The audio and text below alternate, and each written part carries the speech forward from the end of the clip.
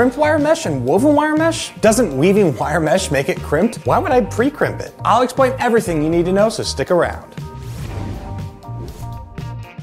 Hey there, what's up? My name's Andrew Kotlar, and wire mesh stands out as one of the most widely used screening materials. Crimped wire mesh and woven wire mesh are two wire mesh variants that each deliver unique benefits that make them ideal for specific applications. But which one makes more sense for my operation? Well, WS Tyler has been dedicated to customer-centric woven wire innovations for over 150 years, and we strive to provide you with a comprehensive understanding of what wire mesh solution makes the most sense for your operation. So in this video, we'll go over what crimp wire mesh is, what woven wire mesh is, how crimp wire mesh and woven wire mesh compare, and which wire mesh variant is best for you.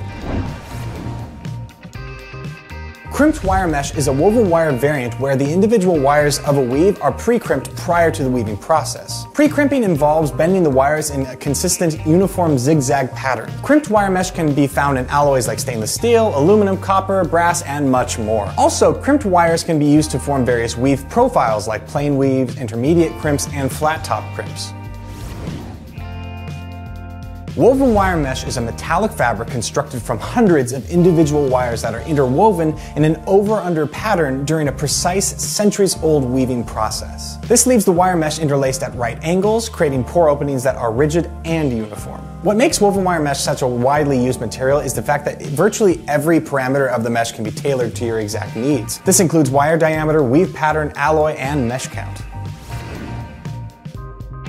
So they may look similar, but crimped wire mesh and woven wire mesh have several manufacturing and structural differences. Looking at how it's made, pre-crimped wire mesh requires a pre-crimped process that physically bends and alters the profile of those individual wires. Pre-crimping creates a more stable and rigid weave where the wires are held in place better. These crimps create a textured surface, but at the same time, it helps maintain the shape of the mesh as well as the space of the openings. That said, the crimped wire mesh renders the material more suitable for heavy-duty applications applications that subject the mesh to high levels of mechanical stress. Woven wire, on the other hand, interlaces the wires of the weave at right angles and does not require that the wires be processed before the weaving process. The lack of crimping often results in a smoother surface. While not as rigid, woven wire mesh is considerably more flexible and easier to form, but the flexibility is also heavily influenced by the wire diameter and weave pattern.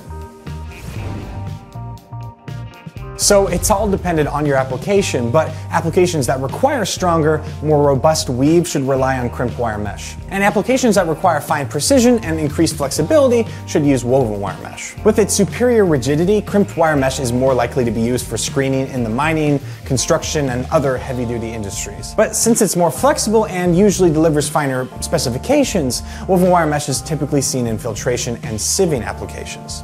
Thanks so much for watching. If you have any questions, fill out a contact us form so we can answer your specific questions. Just click the link in the description. And if you'd like to learn more about woven wire mesh or our many products, we have a learning center filled with written and video content to make you an expert. Just click that second link and you'll be that expert in no time. And don't forget to click that subscribe button and ring that bell to keep up with all things WS Tyler. Once again, my name's Andrew Kotlar and I'll see you around in the next video.